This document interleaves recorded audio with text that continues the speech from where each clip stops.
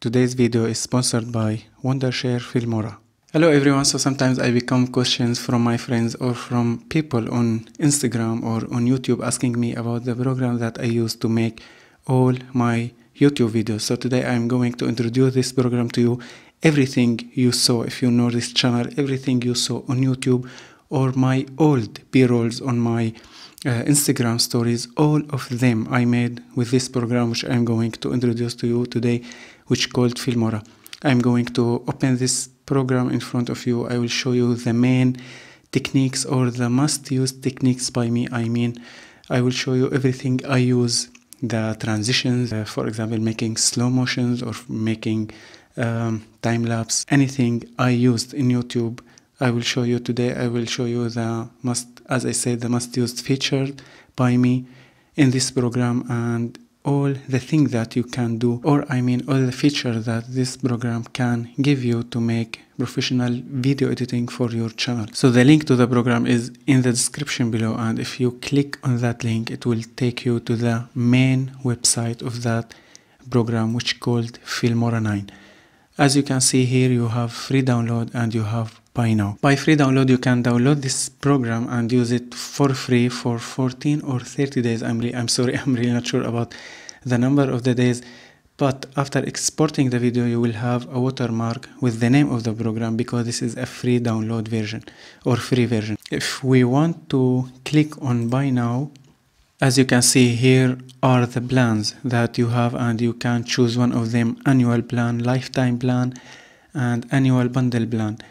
The difference in this lifetime plan and annual bundle plan from the annual plan is that you have unlimited downloads from the film stocks standard library which means you can use a lot of film stocks if you want, for example, to search for B-rolls, specific B-rolls for your YouTube videos, you can have this feature or this option in these two plans, but not in this plan. And the second one, new effects every month. So as you can see right here, after downloading the program, it will look exactly like that. This is the main window of the program and here we have all the sections that we will use right now and I will explain every one of them. I will try to cover everything but I will try at the same time not to make this video so long. I will try to make it between 10 and 15 minutes, not more than that. So I will start from the beginning. I will now import any clip or any footage to work with.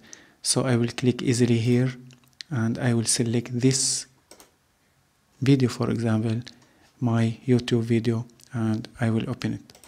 So as you can see here, I have the media that I have just imported, all the media, the video and the photo, for example, if I want to import also these photos. So as you can see, I will have here everything, the video, the audio and the photos. So I will take this video and I will drag it easily to my timeline here. As you can see right here, the program is telling me that my video that I have just exported is 30 frame per second. So you have two options with the project of the program or to match the project of the program to the frame of the video. So I will choose this one to match the frame of the project that I have to the frame of the video because I don't want to change the frame of the video.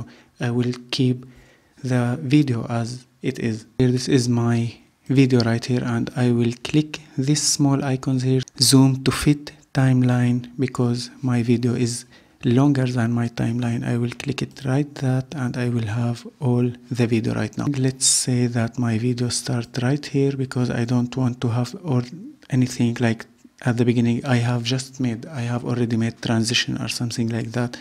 So I will, I need my video to start easily like that. So as you can see right here, the video starts directly without any transition, without any effect.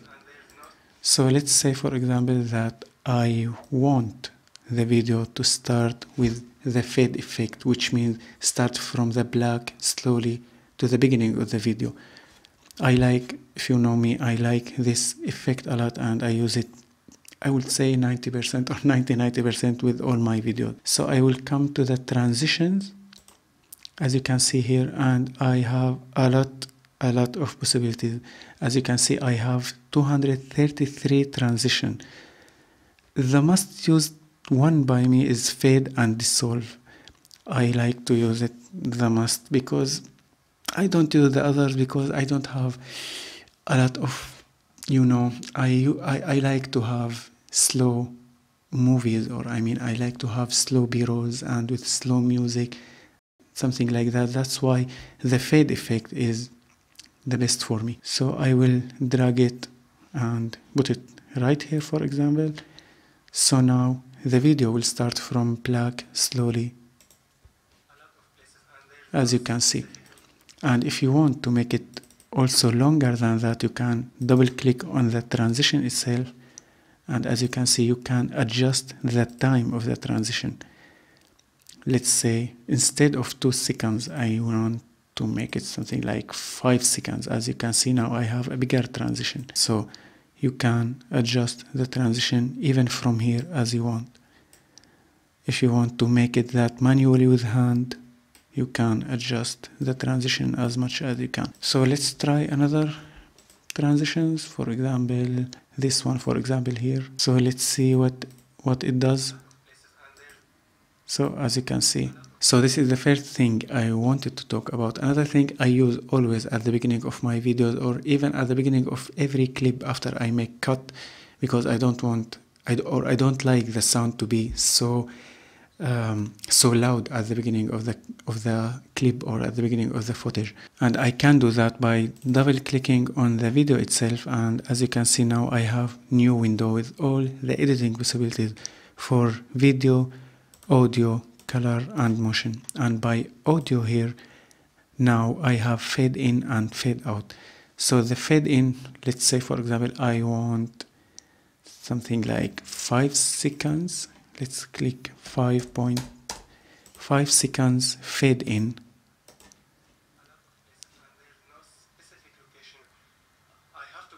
As you can see because I made it 5 seconds I have right now the fade here.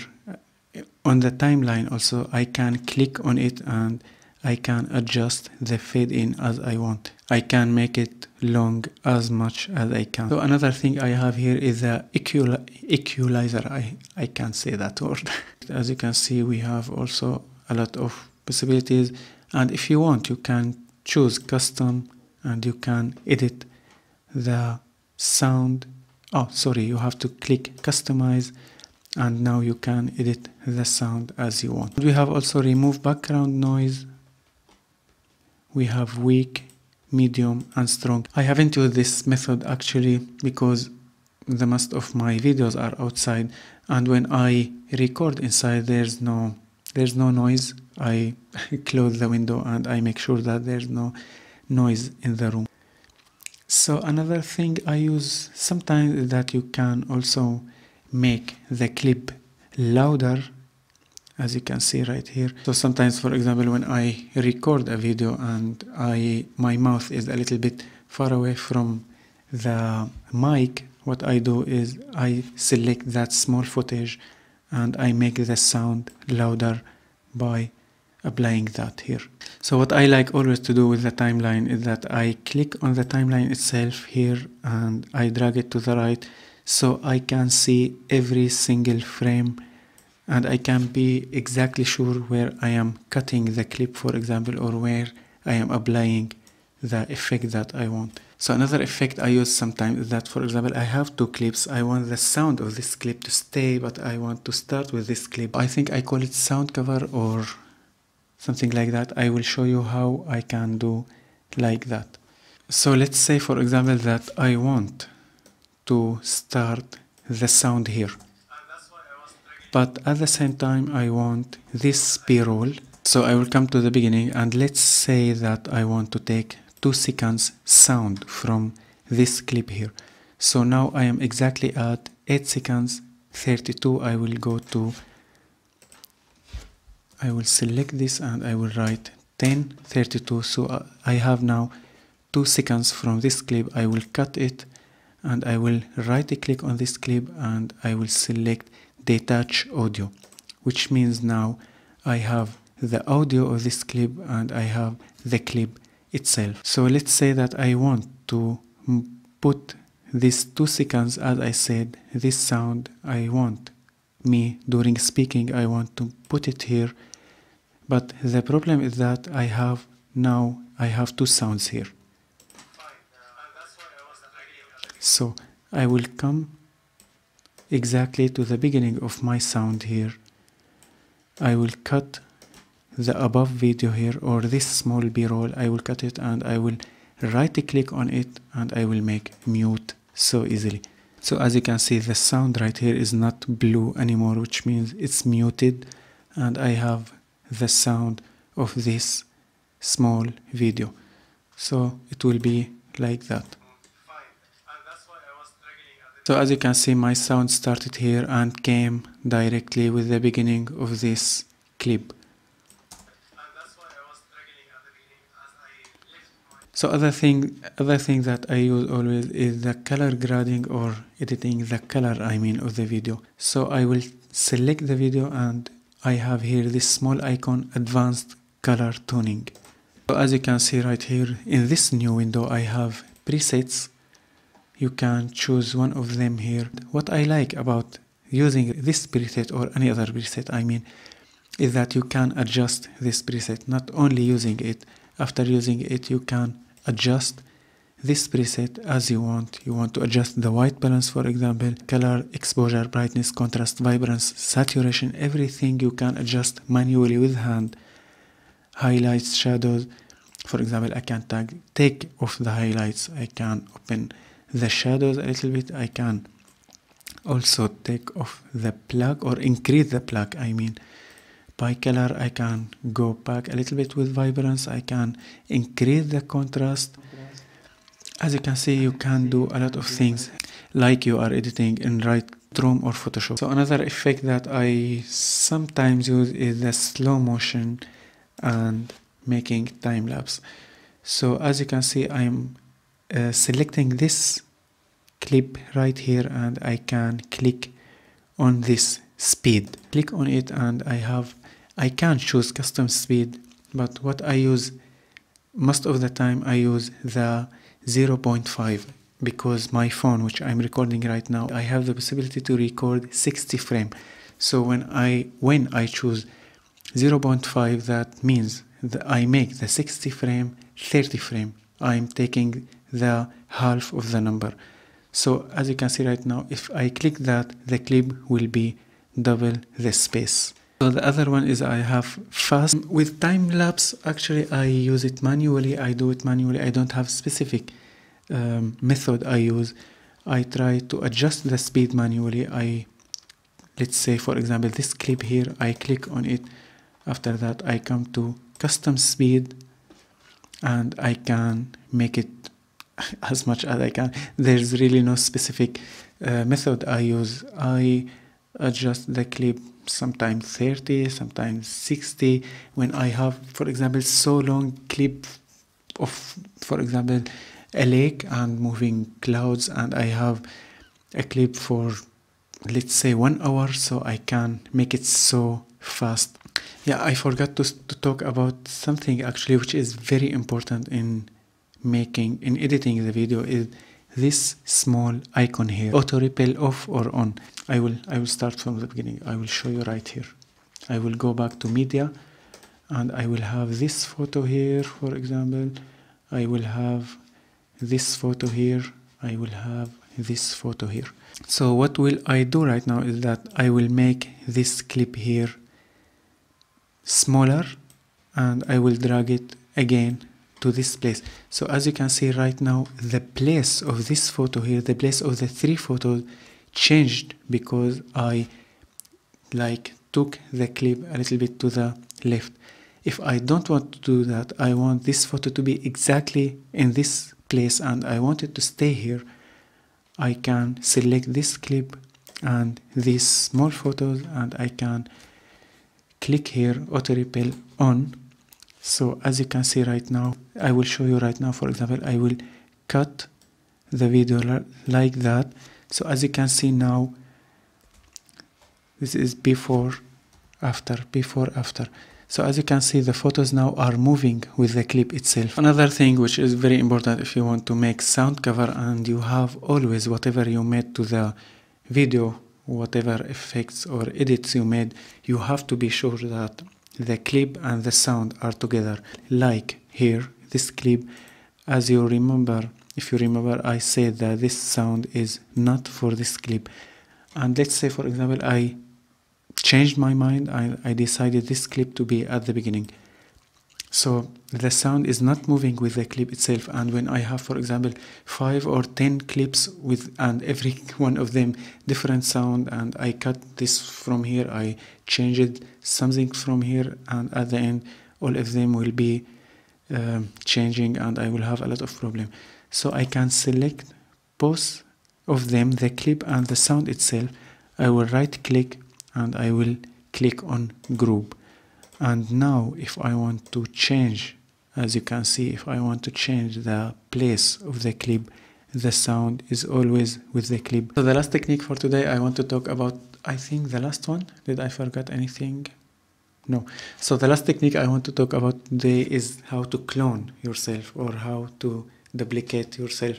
I did use that once in a video called trust your histogram yeah i think that video trust your histogram not your camera. So um, i will show you right now. I will record now at the beginning. I will record uh, the video in front of you and after that i will show you how i will merge both uh, the both of the clips. But what i recommend actually during doing that is not not to use a white background because when you want to merge the two clips you may see the line here between the two clips. So let's say that, for example, my space is at the end of this mic. So I will sit right here and I will talk right now and me will sit here and look at me when me is talking. I will make like that but I will make sure that my shade is not on this place because it will be visible that my shade is not on the wall when I want to measure them. So I will go back and I will sit and I will look at me. So something like that. Let's say something like that. Yeah, it will be good.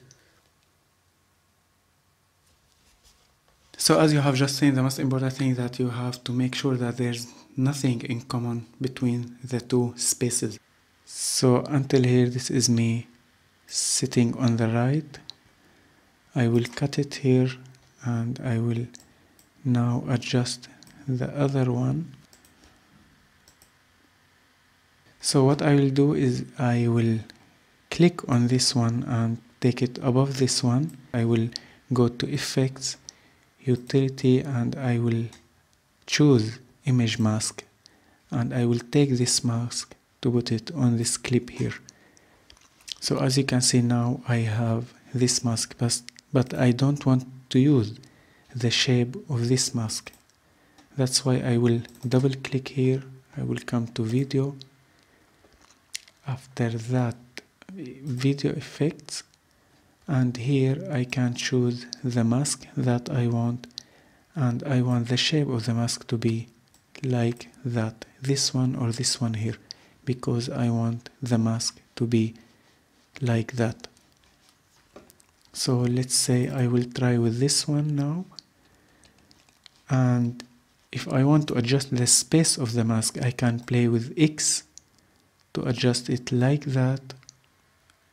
Or I can play with Y to adjust the mask like that. So at the end it will look something like that. But as I said using a white background is not a good idea. The best thing is using a background with there's a lot of information and not a white wall. It will be hard to use a white wall in situation like this. So thank you very much for watching this video. I hope it was helpful for you. I hope I could cover every technique, every effect or every information that you wanted to know about this program. Please consider subscribing if you are not already and see you in the next video.